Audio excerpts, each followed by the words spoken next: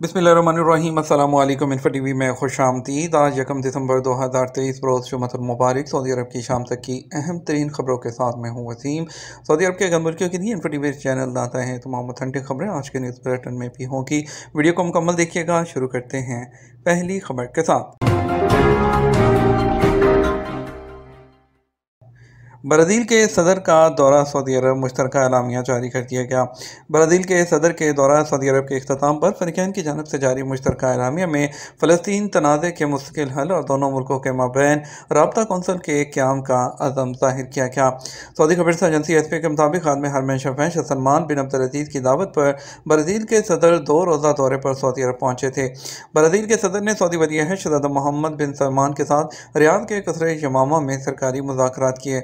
Brazil के सदर ने एक्सपो ट्वेंटी थर्टी की मेज़बानी रियाद को मिलने पर शहजादा मोहम्मद बिन सलमान को मुबारकबाद पेश की। इंफ्रास्ट्रक्चर तैयार ना होने के बायस डोमिनिका वेस्ट इंडीज़ का जो कंट्री है, वो T twenty world cup matches की मेज़बानी से दस्तबरदार हो गया। वेस्ट इंडीज़ का रुकन मुल्क डोमिनिका साल दो हज़ार चौबीस में होने वाली men's T twenty world cup cricket जो है, उसकी मेज़बानी से दस्तबरदार हो गया। डोमिनिका वेस्ट इंडीज़ के उन सात मुल्कों में से एक था, जो जून में अमरीका के साथ टी ट्वेंटी वर्ल्ड कप की मेज़बानी के लिए मंतखब किया गया था। दूसरी जानब अमरीका के मैचेज़ न्यूयॉर्क और फ्लोरिडा और टेक्सस में होंगे। डोमिनिका हुकूमत के मुताबिक जो है विंटर पाक को एक ग्रुप मैच और सुपर एट के दो मैचेस की मेज़बानी के लिए शॉर्ट लिस्ट किया गया था। ताहम वर्ल्ड कप के लिए वक्त पर इंफ्रास्ट्रक्चर तैयार न होने के बायस इवेंट से दस्तबरदार हो गया। वेस्ट इंडीज़ के चीफ एग्जीक्यूटिव जॉनी ग्रेव ने कहा कि हम डोमिनिका हुकूमत के इस इकदाम को तस्लीम करते हैं और बयान करदा वजूहत को सामने रखते हुए उनकी पोजीशन को समझते हैं। टी ट्वेंटी वर्ल्ड कप में बीस टीमें शामिल होंगी, जिन्हें पाँच पाँच टीमों के चार ग्रुपों में तकसीम किया जाएगा। हर ग्रुप से टॉप टू टीमें सुपर एट के लिए क्वालिफाई करेंगी। कोरोना वैक्सीन के बाद भी क्या मौसमी फ्लू का शिकार हो सकते हैं? सऊदी अरब में मामून सेक्रेटरी सेहत doctor Khalid Al Abdul Karim ने कहा कि कोरोना वैक्सीन लेने वाले मौसमी इन्फ्लुन्जा में मुबतला हो सकते हैं।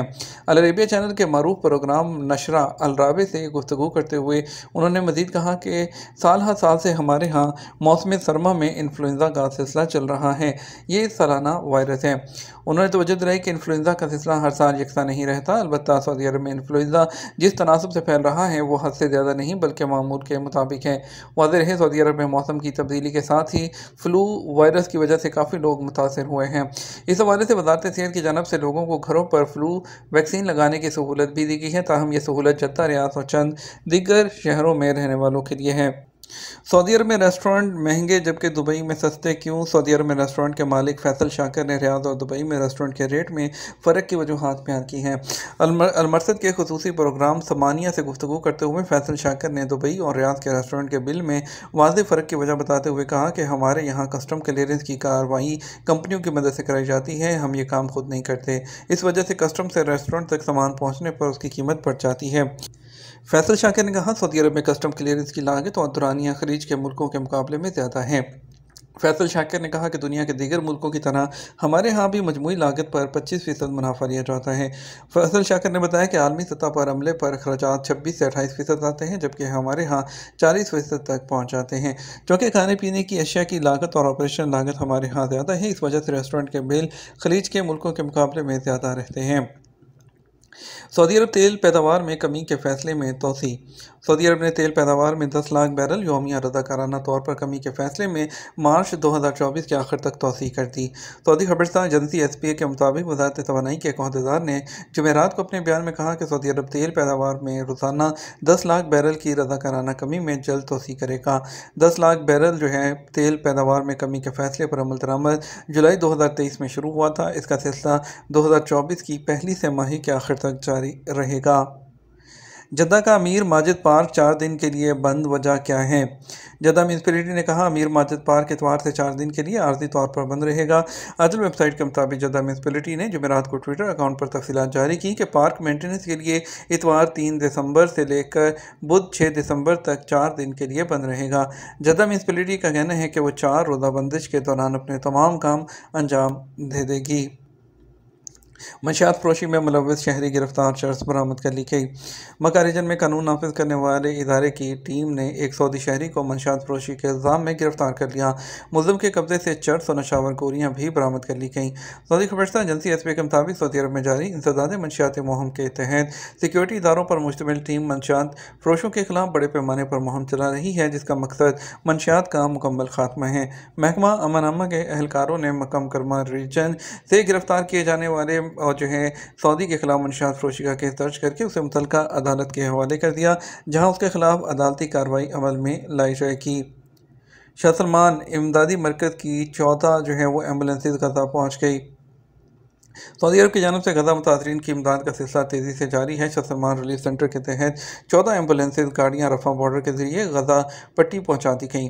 सऊदी खबर एजेंसी एस पी के मुताबिक खातम हरमिन शफैन Salman bin Abdulaziz Al Saud और वली अहद सऊदी अरब शहजादा Mohammed bin Salman bin Abdulaziz Al Saud की खसूसी हदायत के तहत गजा मुतासरीन के लिए इमदादी मुहम साहम पोर्टल के ज़रिए शुरू की गई, जिसका सिलसिला जारी है।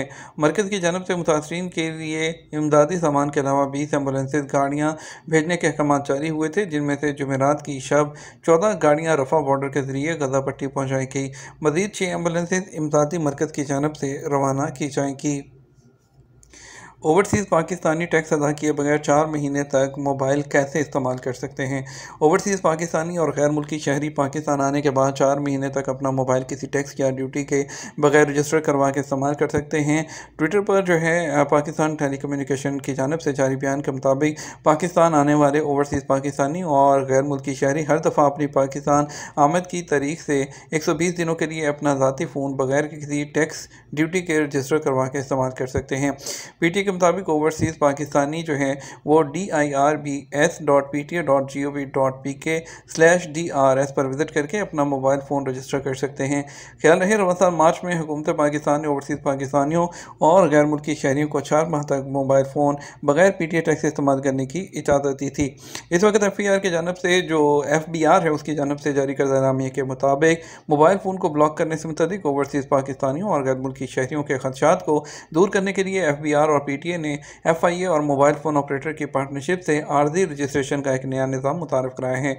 ये नया निज़ाम ओवरसीज़ पाकिस्तानियों और गैर मुल्की शहरीों के लिए बनाए गए हैं, जो अपने मोबाइल डिवाइस पाकिस्तान में नहीं रखना चाहते। उन पर सिर्फ़ एक मोबाइल फ़ोन काबिल इतलाक़ होगा।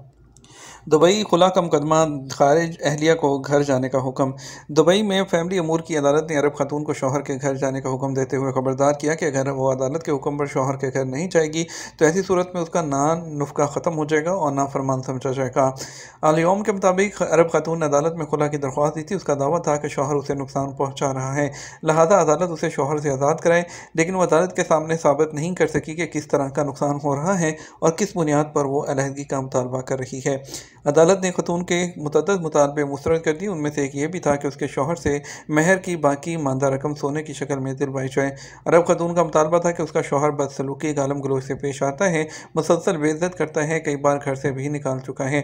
शोहर ने वकील की दिफा की मदद से अदालत में जवाब दायर किया, जिसमें कहा गया कि हमारा रिश्ता मामूल के मुताबिक है, मदई जान पूछ कर घर वापस नहीं आ रही है।